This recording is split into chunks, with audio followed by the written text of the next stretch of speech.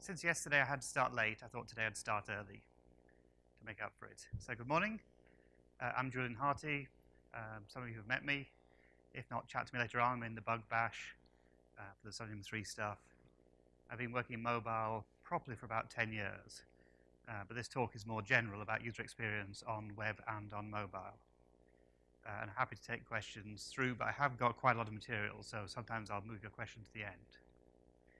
So the first thing we want to do is to understand what does UX or user experience mean for people. Uh, I picked a couple of examples. I think these are pertinent for many of us in our lives today.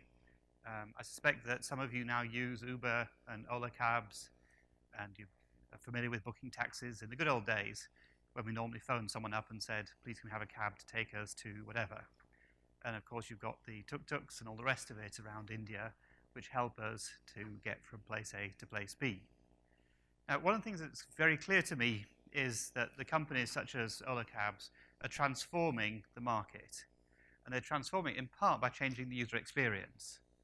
Uh, gone are the days when I would fly to a foreign country and try and work out who the heck's going to take me in a cab, how much they're ripping me off, and just which route they're taking me to the city that I thought was five kilometers away and we seem to be driving forever and ever in the wrong direction. Because these days we've got mobile devices, we know who our driver is, they've been rated by someone else, you know, they've got four point something scores, they've got 57 reviews.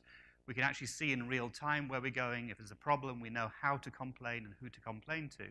So this is transforming our user experiences. And it's transforming it more for some of us than others.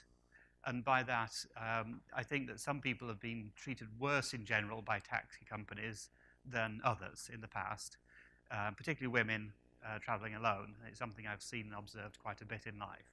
But the people who are more vulnerable tended to suffer more.